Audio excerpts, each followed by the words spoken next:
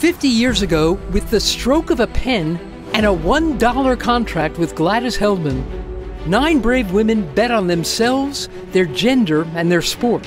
And in return, they changed history.